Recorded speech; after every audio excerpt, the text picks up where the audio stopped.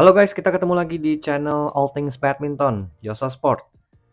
Kali ini kita mau bahas dua buah raket dari keluarga Fortius dari brand Mizuno, yaitu adalah Fortius 30 Control dan Fortius 50 Swift.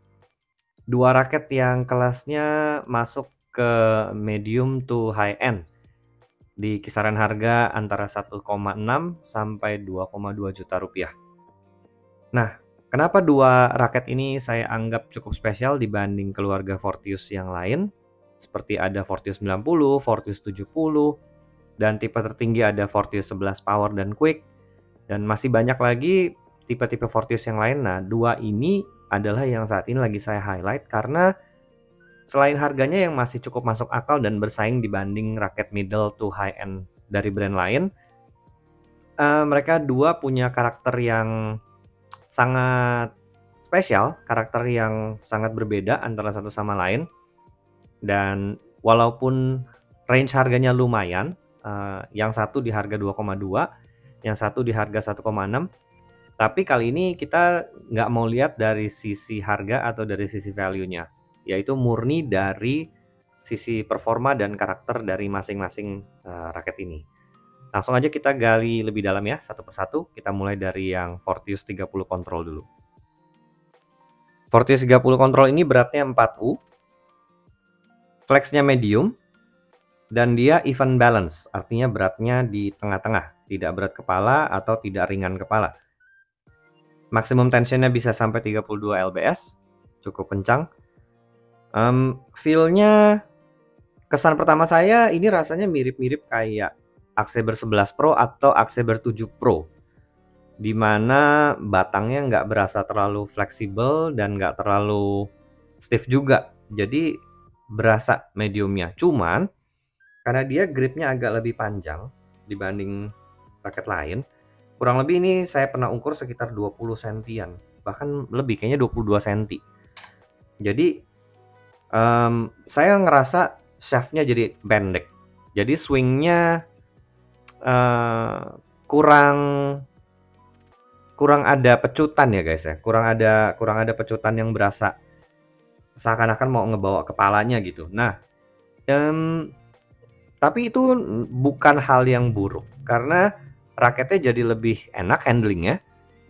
Uh, kemudian kalau misalnya kita mau butuh power yang lebih untuk nyemes supaya bolanya lebih kencang supaya angle pukulannya lebih menukik kita nggak perlu sampai turunin pegangan kita sampai ke bawah grip gini. Jadi tetap stay di tengah-tengah. Kita nggak perlu repot-repot banyak gerakin tangan. Dia udah uh, putaran dari raketnya swingnya rotasinya udah memadai untuk dapat angle-angle pukulan serangan yang lebih bagus.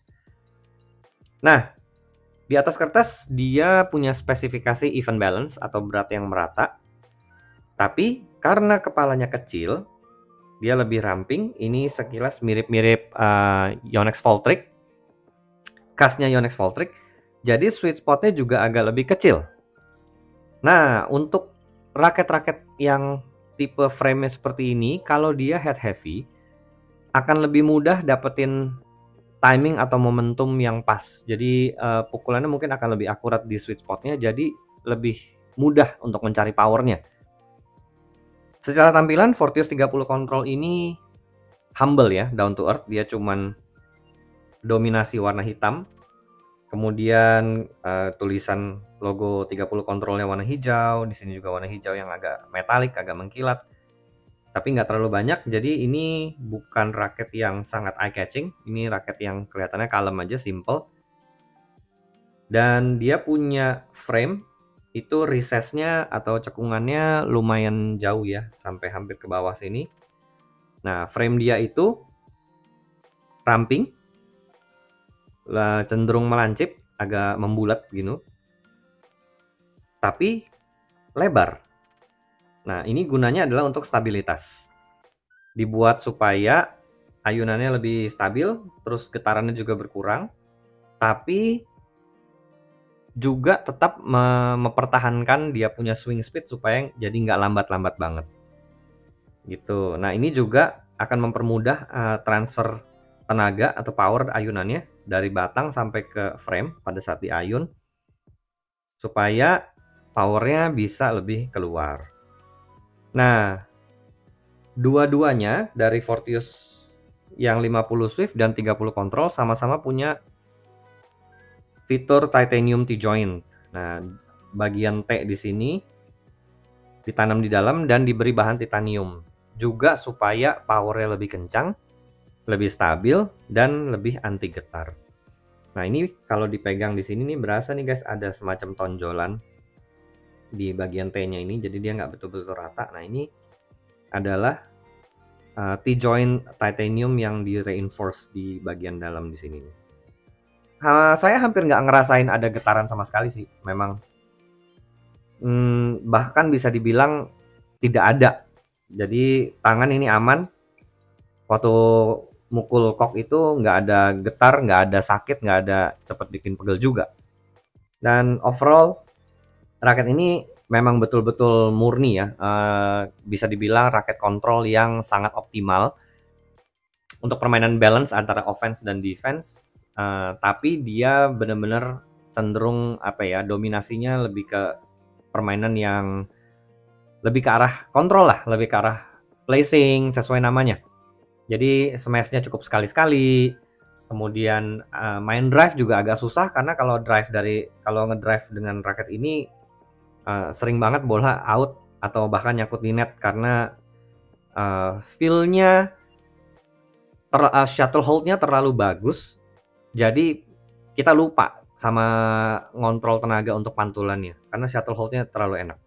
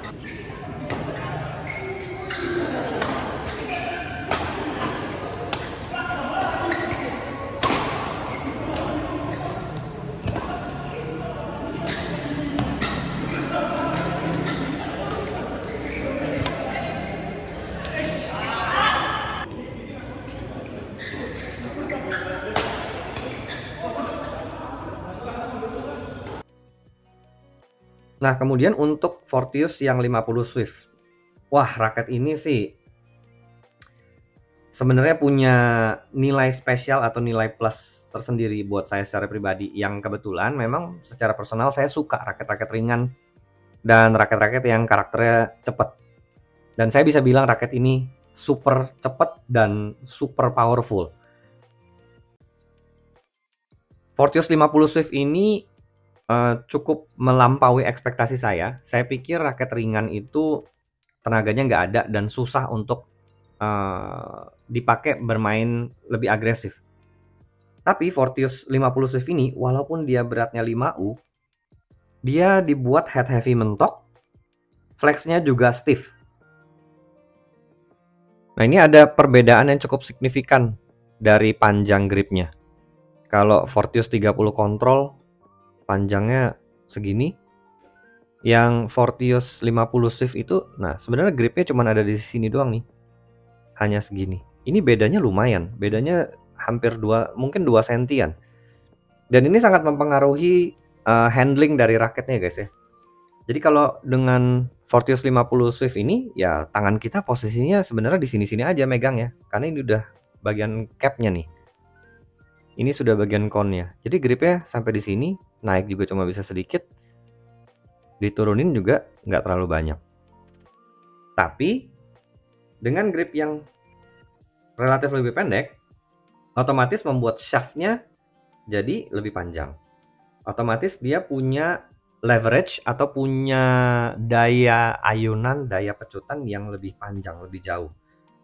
Nah, karena batangnya stiff, karena fleksibelnya ini nggak terlalu fleksibel, dia betul-betul berasa banget stiffnya.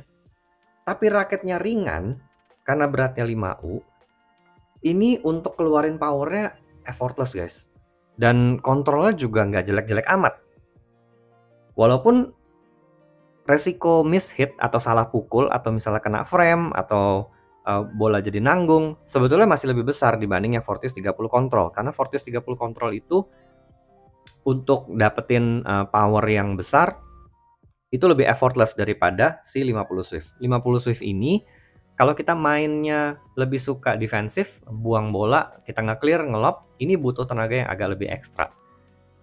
Di lain sisi, kalau kita bermain agresif, mau main drive, main smash, 50 Swift ini tiada ampun guys. Ini nggak ada ampun.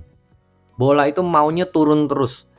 Mau pukulan kayak gimana pun, kalian mau nyamber di depan net, mau dari tengah lapangan, bola itu maunya turun terus. Walaupun Steve, saya agak lucu makanya. Apa karena uh, bagian kepalanya dibuat head heavy mentok, jadi seakan-akan ada momentum atau ada gaya dorongan yang bikin uh, pukulan itu maunya turunin bola terus. Nah, kalau dari segi material juga sama, dia juga pakai titanium T-joint sama 30 kontrol. Kemudian juga pakai high modulus graphite TN46, bahan yang sama. Kemudian dia juga sama-sama punya high foam system di frame-nya. Yang membedakan adalah dia kepalanya lebih cenderung lebih isometrik ya. Sepertinya uh, ini bentuk frame yang uh, populer atau yang umum digunakan di banyak raket. Nggak seperti si Fortius 30 Control yang lebih ramping. Dia lebih lonjong, lebih panjang, lebih ramping. Ini persis banget deh, mirip kayak um, Yonex Voltric uh, kepalanya. Oke, perbedaan pada frame-nya bisa dilihat di sini. Oke. Kalau Fortius 30 Control itu lebih ramping, lebih tipis di sini, tapi dari samping dia lebih melebar Sedangkan kalau Fortius 50 Swift dia lebih tebal karena dia frame-nya boxy, frame-nya kotak. Dia all the way, seluruh frame-nya ini kotak, dia boxy. Nah, frame yang boxy kayak gini udah pasti adalah power frame, yaitu frame yang uh, digunakan untuk permainan-permainan power, permainan-permainan yang lebih menyerang. Tapi secara ketipisannya dari secara kerampingan dari sampingnya ini framenya lebih tipis daripada yang 30 kontrol. Supaya apa? Supaya 50 Swift ini sesuai namanya walaupun dia pantulan dari depannya kencang tapi ayunannya tetap cepat.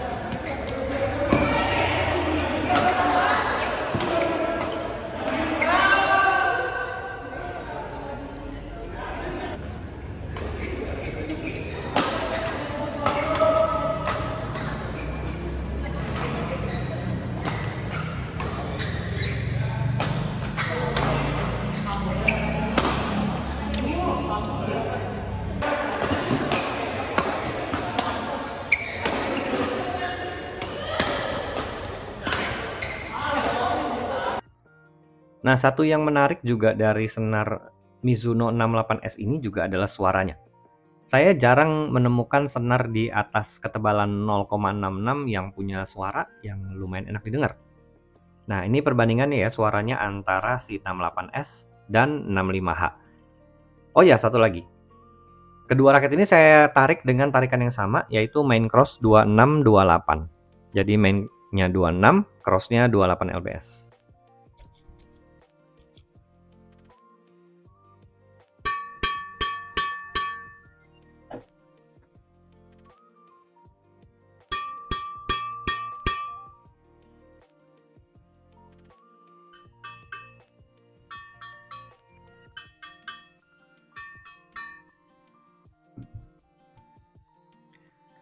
Nah, last but not least, um, walaupun di awal tadi saya udah bilang saya nggak mau terlalu bahas atau terlalu dalam uh, bicara soal value atau harga, tapi kan pasti tetap uh, akan menjadi sebuah pertanyaan ya, sebetulnya worth it nggak sih raket ini untuk dibeli? Hmm, saya punya jawaban yang agak mixed, agak bercampur ya. Kalau untuk yang 50 Swift menurut saya sangat amat worth it. Di harga yang nggak terlalu mahal, 1,6 ya mungkin dengan senar 1,7 atau 1,8 totalnya. Ini sudah bisa dapat raket yang mungkin bisa bersaing ketat sekali dengan raket-raket yang harganya mungkin jauh di atasnya, di atas 2 juta misalnya. Uh, raket ini saya bisa bilang tidak kalah dan sangat amat bisa bersaing kuat. Saya bahkan lebih prefer ini yang harganya 1,6 dibanding Yonex Nano Flare 700 yang harganya udah di atas 2 juta.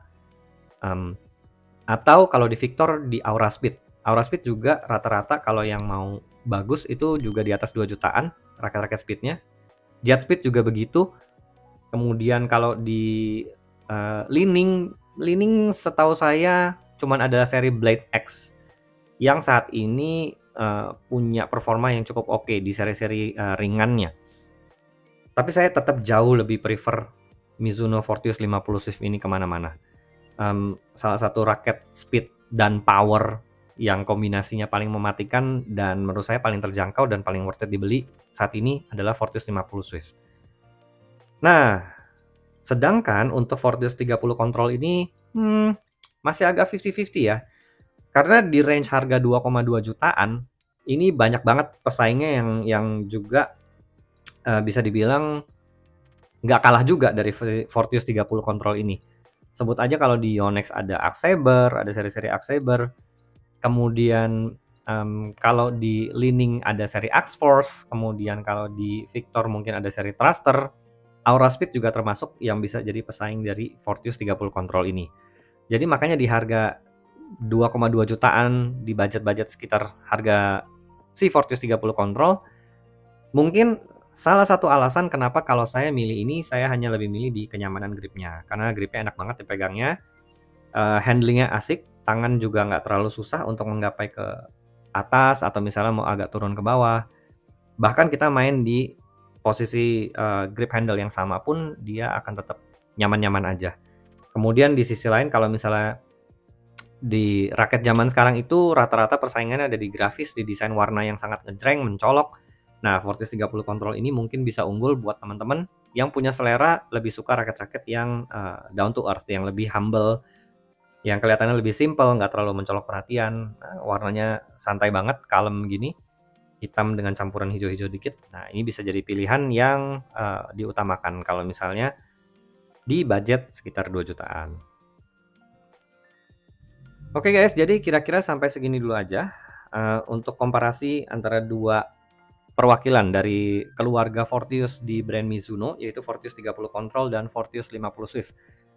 Semoga bisa memberi gambaran uh, yang cukup komprehensif buat teman-teman yang lagi memilih raket antara mau raket yang orientasinya lebih ke kontrol atau lebih per, uh, lebih ke permainan-permainan yang lebih agresif. Dan dua raket ini menurut saya cukup mewakili dari masing-masing uh, dua karakter yang berbeda ini. So, oke, okay, sampai sini dulu aja review kita kali ini. Jangan lupa juga subscribe channel Jasa Sport supaya lebih berkembang. Di like juga videonya dan tinggalkan komen. Boleh nanya apa aja, boleh kasih masukan. Boleh juga request mungkin ada raket atau equipment apa, barang apa yang teman-teman ingin saya review. Oke, okay, sampai jumpa lagi di video berikutnya. Bye-bye.